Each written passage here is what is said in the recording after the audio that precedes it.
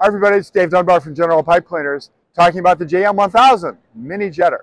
You know, we say that small is the next big thing in jetters because we find about half to three quarters of the grease that's coming up today's world is located within about 10-15 feet of a kitchen sink down the drain. So, rental is hooking somebody up with the right tool for the job, right?